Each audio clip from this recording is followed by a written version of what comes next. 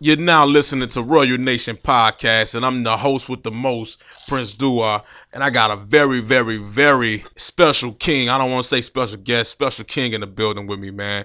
Go by the name of Kirk the Barber. He's an entrepreneur, black entrepreneur that's been doing this thing for a long time, man. And I definitely wanted to get in here and do an interview with this guy, man. I I I see him all the time, man. He's always dropping jewels, and I and I want him to share some of those jewels and those experiences with with the community, with the listeners, so they can get educated on that. What's going on, Kirk, man? Hey, what's going on, my bro? Man, the name of your barbershop is Perfections, Barbershop. Perfections. Perfections. Perfections. So that's that's like if you come get a cut from you, you getting you getting perfection. Man, you gonna we- come out here, you gonna come in looking like Whoopi Goldberg, come out looking like Halle Berry. What you saying? So, we gonna strive to get you there, man. We're gonna strive to do it, man. Oh man, that's what's up, man. That's what's up, man. Yeah. Look, man, I'm it, it, all respect, man. It's it's good it's good to have you over here, man, to, to sit down and do this interview with me. I look at you as being a, a great leader in the community. I look at what you're doing with all these guys and ladies that work here, man, and and, and I know it's hard work to be an entrepreneur and, and run a business, man. And I and I definitely uh I want the world to see that. I want the world to see what you do and and see what you got going on and and what you're moving forward to, man. How long you been cutting hair? Uh, license, uh, about eight years license. You know what I'm saying? Uh, uh, you know, started middle school. High Yeah, school, yeah, yeah, you know, yeah. Talk So you- about that a little bit, but So, so you was out here hustling in middle school cutting hair. man, I was trying to get it, man. You ain't getting no hologram cars, or you when you get you wasn't getting paid for it. Nah, man. I, I was uh mostly family, mostly family. You know, a couple people Oh, okay. block. so you didn't want to fuck nobody head up. You want to fuck your family indeed, head up, and then you can make it up at the reunion. That's it. Indeed, Man, somebody phone going off up in here, man. Shut your phone off, man. Shut your phone off. Um, so you've been so you've been doing this for the perfections business for eight years, and you've been cutting since you were in junior high. Man, what inspired you? Man, um, I I think um, um, when I when I did it, I liked it. You know what I'm saying? Yeah. Like I I liked it. You know what I mean? I, I enjoyed doing it. Um, I just didn't think of it as a career in high school. Uh, I made a little side money on it. You know what I'm saying? Uh, I used to uh, um, in the ninth grade. I used to watch my my partners. Said, said Ed, uh, uh, Black Wesley Square, man, them boys used to be in there chopping, Yeah, and and uh, uh, uh, Adrian Harper, you know what I'm saying? yeah, I used to watch them boys cut in school, you know what I mean? And Alright. then when they left, because they was a little older, I started cutting. You know what I mean? I Yeah. started really cutting, you know what I'm saying, the football players and what have you. Uh, uh, so I, I've, I've always enjoyed it. I've always enjoyed, you know, somebody sitting in my chair and and looking like what you said, Whoopi Goldberg. yeah, Yeah, yeah. I- coming I- in like Whoopi Goldberg, hair coming in looking like Whoopi Goldberg, and Oh, I'm color coming purple. out color purple, the color purple. Yeah, that that Whoopi. Yeah, but I, I enjoyed like doing that transformation. You know what I'm saying? Yeah, They come in looking one way, and then we making them nice. You know what I'm saying? You know, making it just that transformation. So I enjoy that. You know. So how how did your family feel about all that? How did your and I'm pretty sure. I mean, I don't, I don't know if you was raised by both both parents or not, but that whole ideal of saying I want to be a barber and and them not. I mean, I, I don't know what your situation was growing up as a child, but them wanting like you want to be a barber, you want to cut hair. I mean, how did they react to your dream, your passion?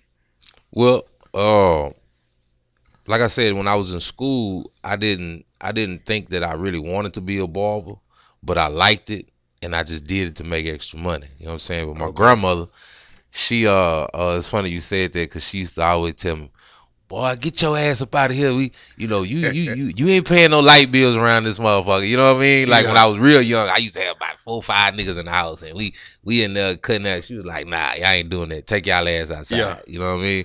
So she used to make us go outside in the heat. You know, this this Texas.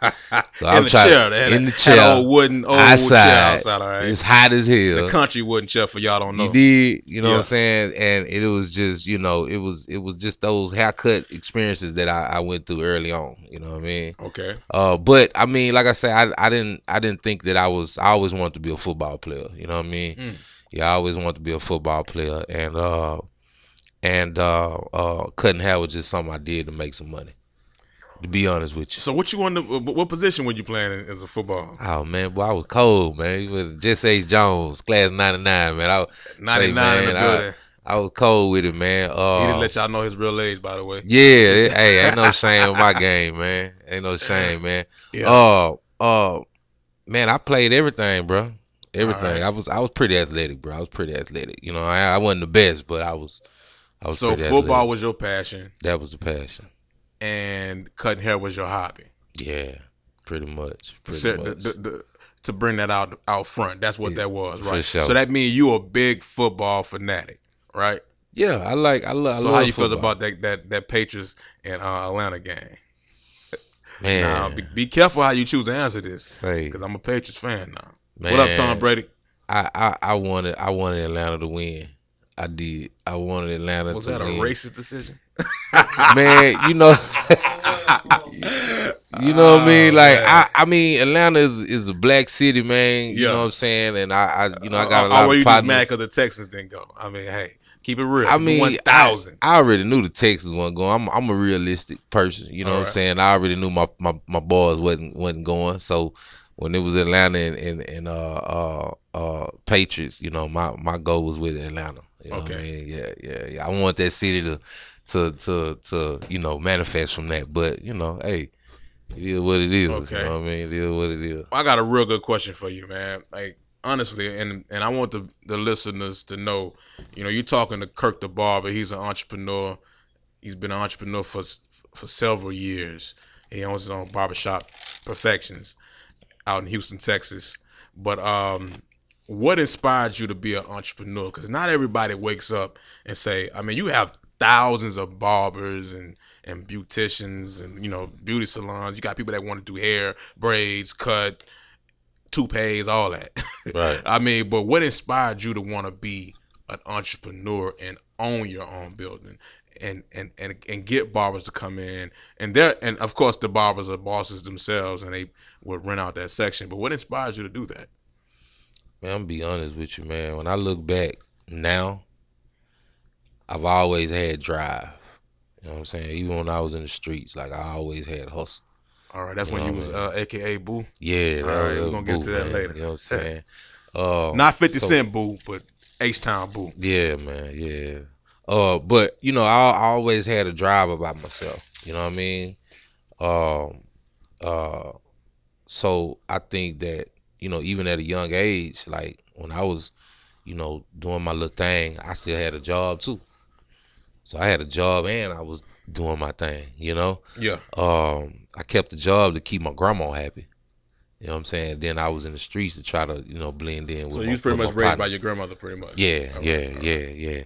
Uh, but through through every job I didn't had, every you know job experience, I was always grinding it. You know, I didn't. I you know I used to go to jobs and people be like, "Yeah, you you know you man you doing too much. You know you tripping." I used to be like, "Man, fuck you." You know what I'm saying? Like this this is what I do. You know what I'm saying? Like I'm gonna come here, I'm gonna clean up, I'm gonna, I'm gonna, I'm gonna make sure it's straight. I'm, you know, I Oh, ain't so trying you- to kiss oh, so nobody. clean- ass. Oh, so you was cleaning up too. You was the, you was shuffling the hair Oh, around. man, say I, I did all that. So man. you really started from the bottom to the top. man, to the bottom, to the, what they say, from the Rudy to the To the Pooty. rooter to the tutor, that was the Man, 90s shit. say, But okay, man, we yeah. know how old you are now. Yeah, going. man, I'm, I'm up there, baby. I ain't, I ain't no spring chicken, man, you man. still young, man. Come on. yeah, yeah. Well, you know, you know. So keep on going. So that you, you did all these necessary things because you wanted to learn, like they said, you want to know what the custodian does, all way up to the CEO. Correct. most definitely, most definitely, man. I mean, I got CDL license right now. You know what I'm saying? Tractor trailer. You know what I'm saying? Like I still keep it. You know what I mean? Like I, I've been hustling all my life. So what were the steps you took to to, to get to owning your your own? I, I, from my understanding, I know you were working out out of a mall one time. You was cutting Right. hair out of a mall. Right, right. Tell me a little bit about that. Um, uh, so I uh from when I was working, well, when I first started cutting hair legally with my license, Yeah. I had a job. I was working at Quest Diagnostics, and I was cutting hair. Ah. You know what I'm saying? I was doing both. So boys be like, damn, they come in at six o'clock in the morning. See, I had to be to work at five. I did that for five years. I had to be to work at five in the morning. wow. I got off at two.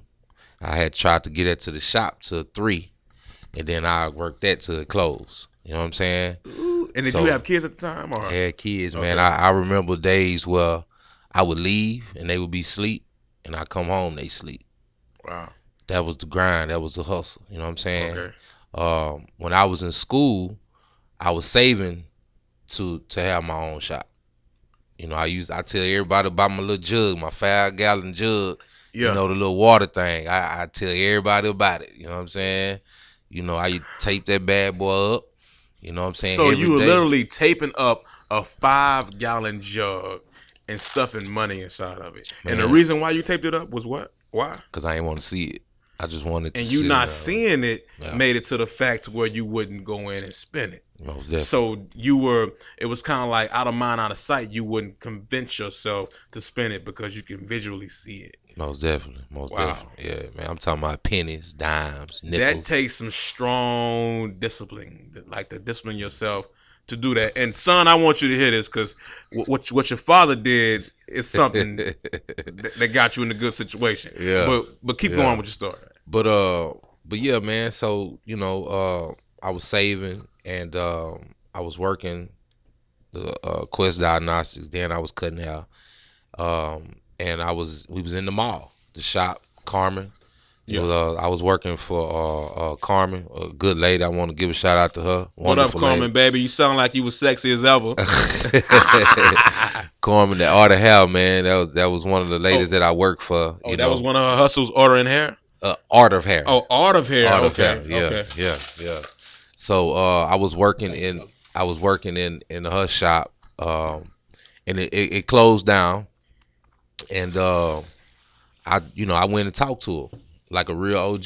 I ain't go behind her back. I ain't go do. I went and talked to her, and I told her I say, you know, look, I wanna I wanna I want I want to open up that shop in there.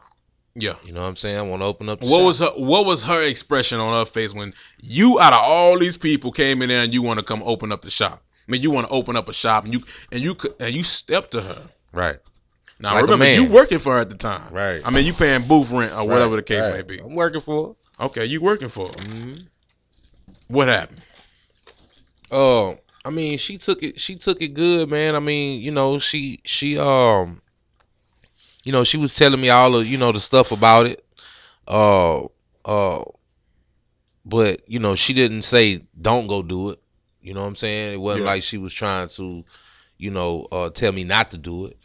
Uh, uh, but uh, I just wanted her to know that I wasn't trying to go behind her back. That was it. So rather what she said, respect to you for that. yeah, whether she said yay or nay, I'm still heading, you know, to there to go talk to the dude. So anyway, I talked to the dude, you know, put my little put my little uh uh uh I went to the house and and put my jug down on the ground. And I pulled out my knife I bust that bad boy open, man. Say Now, I, now I'm curious to find out how much money did you have saved in there.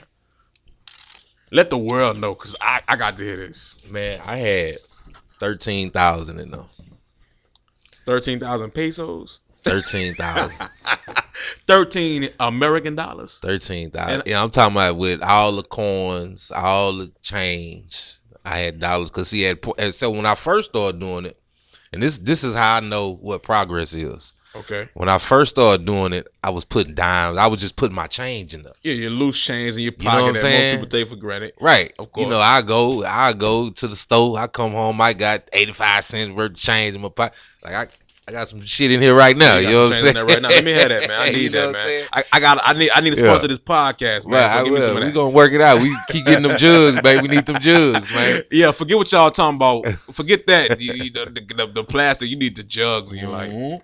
So I started off with the change, you know. Then I moved up to dollars and then five dollars. But you know, see, I'm I'm cutting out too, so I'm getting cash every day. You know what I'm saying? Then I went from 10, then to the 20s, and then the 50s and the hundreds, and then we got to a point where I was putting hundreds up in.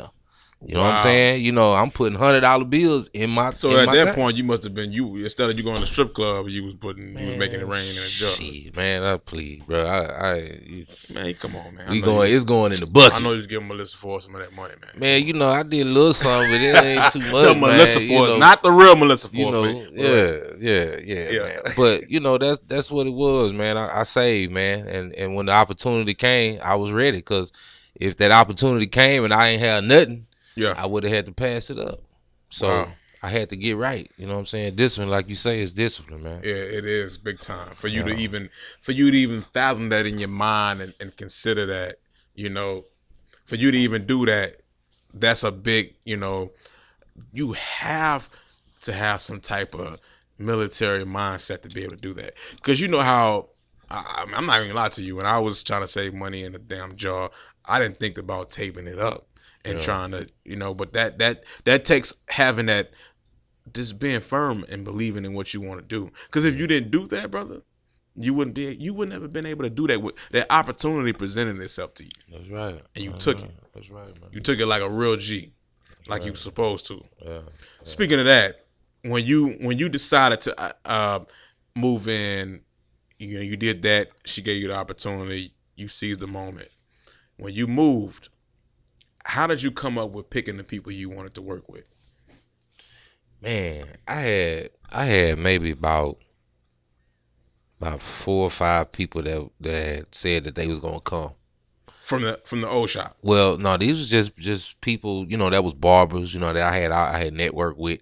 Yeah. Um, um, and they was like, "Yeah, man, we coming, we coming, we coming." Woo, woo, woo. When I opened up, not one came. Not one. Y'all hear that? You did. And they so were all friends. They all friends, you know. I mean, we, you know, we, we was cool. You know, we, we did our thing. You know what I'm saying? Um, and they told me they was coming, so I was, you know, I'm, I'm like, okay, so they got that right there. I got that right there. I got, and I opened up. I had one barber, When you opened up, you had one barber. one barber, grand opening, one barber.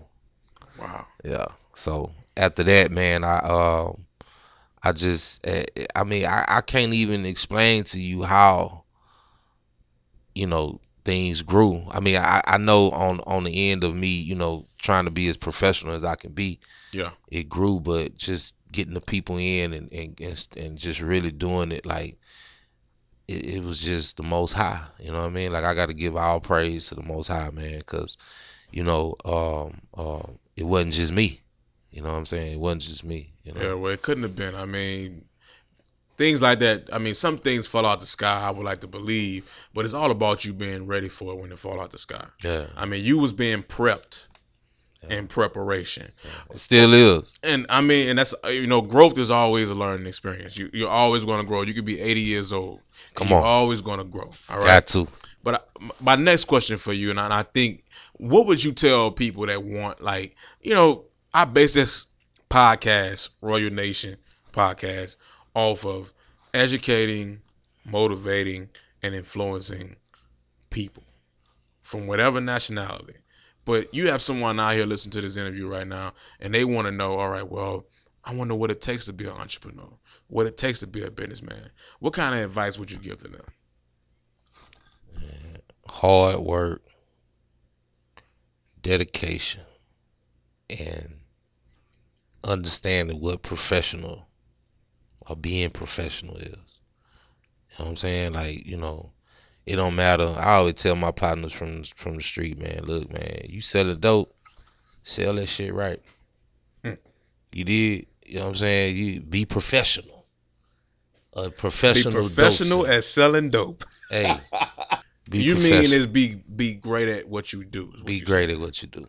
You know what I'm saying? Be be great at what you do. You know, like I I, I commend every man, woman that made it to the top or, or or made it to a certain level in their business to where that they they comfortable financially. They worked hard for that. Yeah. I commend them. You know what I'm saying? Because I know it's hard work, whether they real or fake. You know what I'm Gotcha. saying? It's hard work. You know what I'm saying? You got to be willing to put in work when ain't nobody Putting in putting work. in work. You know So you would say consistency is the biggest part. consistency in a good way, cause see a, a motherfucker could be consistent in some bullshit.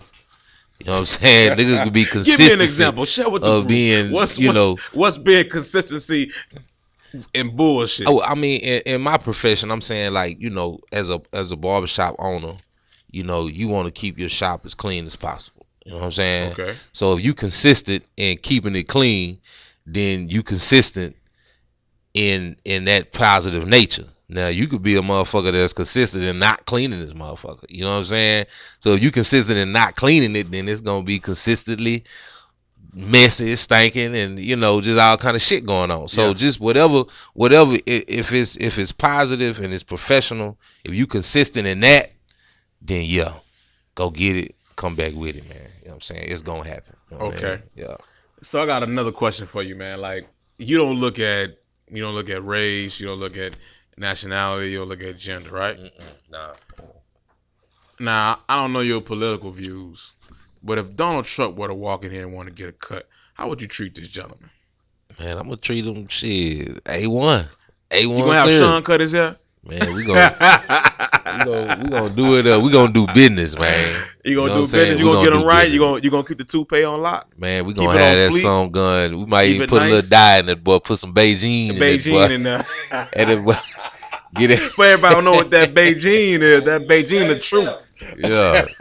Is- that boy come out with a fresh line with a taper and everything. Yeah, we gonna do them right though. Yeah, we gonna take care of business because it's business, man. Ain't no, ain't no color in there. We gonna, Yes. you know, we gonna, we gonna take care of you. Gonna take care of you. so you know it's funny because um I didn't know anything about the the uh barbershop beauty salon industry, but I understand is everybody is entrepreneurs in that business. Most definitely. And the reason why I say that is because everybody, you know, you you have your clientele, you're your own boss, but there's always a bigger boss, but you rent this section out to people and they pay you monthly, right? Yeah, just like I pay rent. Exactly. Yeah, Somebody's paying somebody, Yeah, regardless. yeah, yeah, you can be a boss, but you paying somebody. Yeah, Whether it's Uncle Sam, I think Uncle He- Sam might he be probably biggest paying boss, somebody. yeah. yeah. You know what I'm saying? So My question to you: How difficult and what are some of the obstacles that you have to deal with when you're dealing with miniature bosses, being that you're a boss? You know, Man, and I want your honest opinion on it. Yeah, I'm gonna be honest, man. First, I want to say that you know what I'm saying, like, man, we got a good group. You know what I'm saying? Like, we got a good group of guys. You know what I mean? The barbers, like, you know, a lot of barbers that I have worked with. You know, um, uh, I couldn't have done it without them. You know what I'm saying? Um, Evidently, right. You know what I'm saying? Like, like people don't understand. Like, the barbers need me, just like I need them. You know what I'm Sure. saying? When you have that that mindset of that, then everything will be cool, man. You know what I'm saying? Like I got, I've been having 13 childs for some years now, and you know what I'm saying? Like I got one, maybe one child available right now. You know what I'm saying? Like I've, I'll, I have a consistency of being pretty full. okay, You know what I'm saying? that's a great now, thing. right. Uh, so one of the biggest trials that I would say would be because a lot of people don't understand why I do what I do. And why do you do what you do? I do what I do because I want people to understand that we can be professional. We can be organized. Yeah, You know what I'm saying? We can be um uh just because this is a black owned business don't mean that we have to be around here shoot 'em up bang bang. true, You know what I'm saying? Like we want all the money. We ain't prejudiced. true. We get white boys come through here. I see that, We get Asians. We get Mexicans. ladies. Arabs, ladies, like they all come. If they know they want to get a fresh fade, the edge up with that nice cut, they coming to perfections. Now, you look around and you might say, Well, damn, look at all the stations look the same. Them boys look like they color coded in their uniform. You know what I'm saying? So, and I want you to break down that because I understand you have a color coordination thing going on. I see one of the gentlemen over here; they have on like greenish gray khaki and and black shirt. Is that something that hell you even have it Yeah, on? that's I But- got it on too, man. I got it on is- too. is- yeah, What's the purpose of that? And I mean, for people to be uniformed. it's it's just a uniformity, man. Like you know, my thing is, I want to go franchise, man. You know, I, I want to go franchise, man. I don't, I don't, I, I'm not looking to just have a barbershop and say, oh, I just got a barbershop. Yeah. I want a business, man. I did this to do business. You know what I mean? So if you go in any other business, if you go now, I know this might be a different type of business, but if you go to Walmart, guess what? They all uniform. True. You know I what I'm saying? Every major corporation that's succeeding is uniform. Is uniform. You know what I'm saying? So that's one of the that's one of the stepping stones to that professional uh uh uh image. You know what I mean? You know, and I understand that. You know, I understand that. You know, um, so even though this is an entrepreneur job, like I think I've had some problems with some people because they they're like, God damn, nigga, why we gotta do this? Why we gotta do this? Why? We? But when we looking at the walk-ins coming in, they like, damn, okay, all right, I'll do this. you know what I'm saying? Yeah. So I think as far as that probably would be one of the most things that I have conflict with the barbers is like just kind of like you know because everybody don't see that vision. You know what I'm saying? Everybody don't see it, but you know, like I like if you look at my look at the stations right now, all of them are the same. Yeah. All you, of them are the same right and you and you understand why it's like that, right? I mean, I, I, I in corporations they have they, they want to be respected in a big situation where to if you're working for GE, you want you you want them to take you seriously. it's certain things that I can't really do. You know what I mean? Because it is an independent, you know, contracted booth rental situation. Yeah. So there is certain things that I can't do. Like what? Uh, I mean, if it was up to me, man, I had. I mean, it'd be like really uniform, like really, like you know, uh, uh. What you mean, like badges and stuff? I mean, I can't, I, ain't- I ain't, you know, I ain't gonna give all the game away. Uh, well, that's, that's but- what it's here for. But give us a Yeah. little sneak peek. I mean, as far as as far as me, you know, being like this is a booth rental, uh, uh, barbershop. Okay. Uh, uh, if I could really do it